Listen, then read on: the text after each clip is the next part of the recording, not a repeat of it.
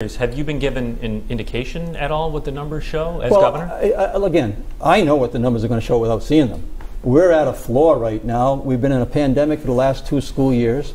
Our scores are at an all-time low, but it gives us a great opportunity to build off that floor. I don't. Last year was another pandemic year.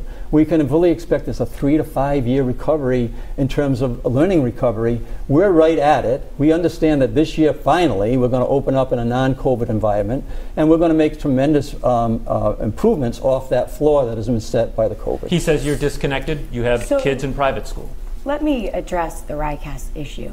So what I'm hearing is he knows the scores, but he doesn't think that parents and teachers should know what the scores are. Well, you're holding the RICAS scores hostage for an election, and I'm hearing from teachers that say they need the scores in order to uh, plan for their students' education, to work on an IEP. Parents deserve to know. They also deserve to know and to judge uh, what you've said you've done for education by the scores before the election. Those scores were supposed to come out in October. The only other time that the scores were held was in 2018 when Gina Raimondo was running for governor, and that was the first year, so I'll give her a bye. But there is no reason that these scores cannot be ready now.